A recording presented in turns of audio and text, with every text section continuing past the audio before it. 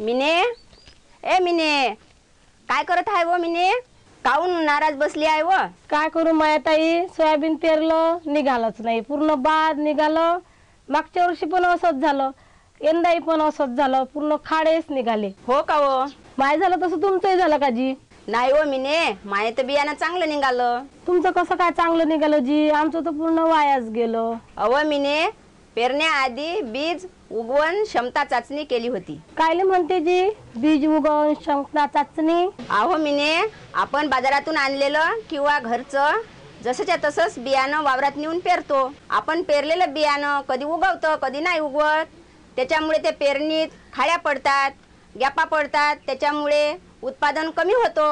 त्याच्यासाठी आपल्याला बीज उगवण क्षमता चाचणी करावी लागते.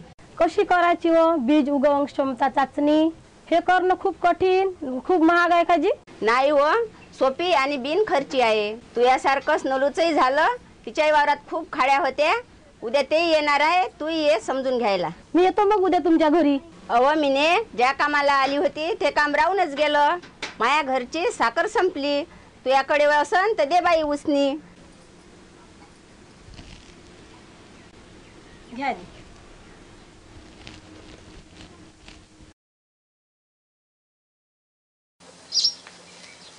आहे का घरी हो बाई तुझीच वाट पाहत होती. नलूही आलेली आहे. या व बसा. ताई लवकर लवकर घ्या बरं. खूप काम पडलं आहे. आपल्याला जर बियाण्याची उगम क्षमता पाहायची असेल तर पोत्यातलं बियाणं सरळ हाताने मुठभर घेऊन यायचं आणि त्यातले शंभर दाणे मोजून घ्यायचे. थांबा मी पोत्यातलं सरळ हाताने मुठभर बियाणं घेऊन येतो.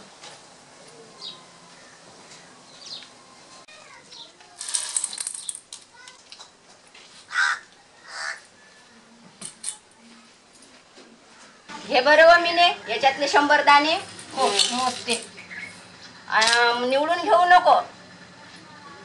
सरसकट घे. बियाण्याची उगवण शक्ती तपासण्याची कृती. सर्वप्रथम उपलब्ध बियाण्यातून कोणतेही शंभर बियाणे निवडावे. तरट किंवा सुती कापड किंवा वर्तमान पेपर घ्यावा. त्याला नेमके ओले करावे. यावर थोड्या थोड्या अंतरावर दहा बियाणे सोडावे. या प्रत्येक बियाण्याखाली पुन्हा दहा बियाणे सोडावे. असे एकूण शंभर बियाणे सोडावे यानंतर त्या कापडाची किंवा पोत्याची किंवा पेपरची गुंडाळी करावी. या गुंडाळीवर पुन्हा थोडे पाणी शिंपडावे व ही गुंडाळी अंधाऱ्या खोलीत ठेवावी. या गुंडाळीमधील ओलावा कमी झाल्यास वरून पाणी शिंपडावे. चार ते पाच दिवसानंतर ही गुंडाळी उघडून बघावी. यामध्ये टाकलेल्या एकूण शंभर बियाण्यांपैकी किती बियाणे चांगल्या पद्धतीने उगवले ते तपासावे. गोंड्याचा तुकडा चांगला ओला करून घ्यायचा.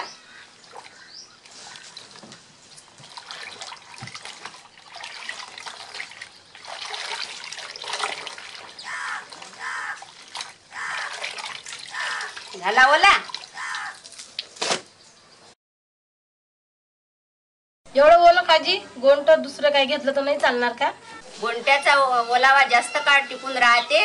त्यासाठी आपण गोंट्याचा उपयोग करतो. तसंच आपण वर्तमानपत्रे आणि सुती कापड सुद्धा वापरू शकतो. असं आहे काजी हे? तू न मोजलेले शंभर दाणे गोंट्यात रांगोळी सारखे आतरायचे.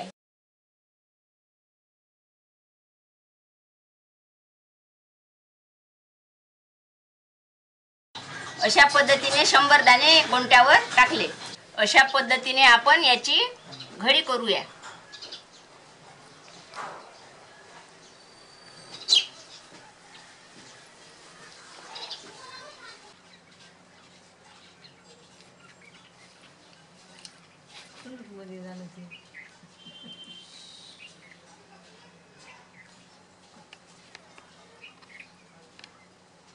नुसतीच माहिती करून का करायचं जी? अहो मिने इथेच तर खरी गंमत आहे. बियाणं जर पन्नास टक्क्यापेक्षा कमी निघालं असेल तर ते पेरायचंच नाही. साठ ते सत्तर टक्के निघालं असेल तर त्याच्यात बियाणं बियाण्याची वाढ करावी. किती टक्के असली पाहिजे जी पेरणीसाठी? अव तर कमीत कमी सत्तर टक्के असली पाहिजे. ताई याशिवाय अजून दुसरी कोणती पद्धत नाही आहे का? हाय व नलू जमिनी शंभर दाणे टाकून त्याची उगवण क्षमता पाहता येते बरं ताई येतो आम्ही चार दिवसांनी. बियाणं किती उगवलं ते पाहायला. चल व मीने चलत नाही का घरी? लय कामं पडले आहे घरी. हो ना येतो चला.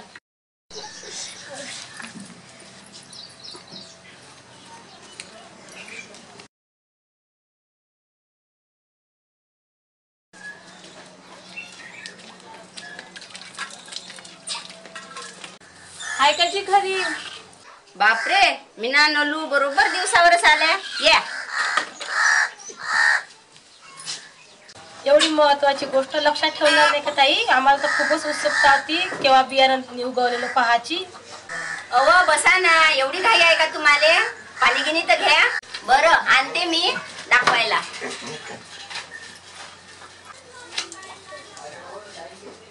आता आपण बघूया.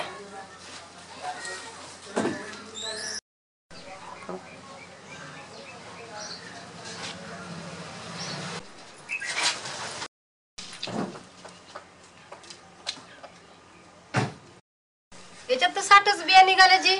आपल्याला तर सत्तर बिया उगवायला पाहिजे होत्या पण उगवल्या साठच. आता कसं करायचं जी मग?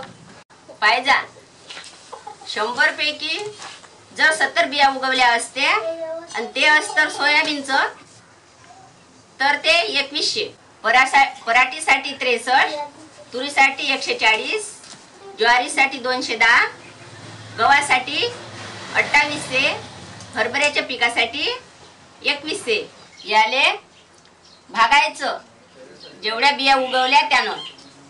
आणि भागल्यानंतर जेवढा आकडा येईल तेवढाच बियाणं एका एकराला वापरायचं. बियाण्याची उगवण क्षमतेचे प्रमाण तपासणे. शंभरपैकी सत्तर बियाणे किंवा त्यापेक्षा जास्त बियाणे जर चांगल्या प्रकारे उगवले असतील तर शिफारशीत प्रमाणात प्रति एकरीप्रमाणे बियाण्याचे प्रमाण वापरावे. पण त्यापेक्षा कमी बियाणे उगवले असतील तर खालील सूत्रानुसार बियाण्याचे प्रमाण प्रति एकरी वाढवून पेरावे.